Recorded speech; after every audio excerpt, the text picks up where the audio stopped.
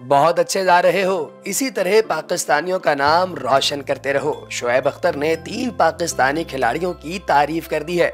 दोस्तों, सबक speed star Shoaib Akhtar ने पाकिस्तान के बाबर आज़म, इमामुल हक और मोहम्मद रिजवान को वाइट बॉल फॉर्मेट की दर्जाबंदी में टॉप पोजीशन हासिल करने के बाद बेशुमार सराहा है।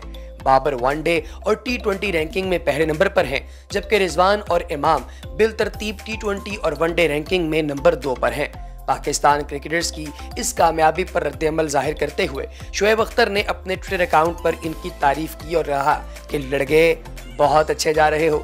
बाबर आज़म, मोहम्मद रिजवान, इमामुल हक, पाकिस्तान का सर फखर से यूँ ही बुलंद करते रहो। यहाँ वाजी रहे कि पाकिस्तानी बल्लेबाजों ने मुल्की क्रिकेट की तारीख में पहली बार वनडे और टी ट्वेंटी में आईसीसी बैटर्स की दर्जाबंदी में पहली दो पोजीशंस हासिल की हैं। ये पाकिस्तान की तारीख में पहली मरतबा हो रहा है कि इतने सारे प्लेयर्स इतने ज़बरदस्त किस्म के अवार्ड्स इकट्ठे कर रहे हैं।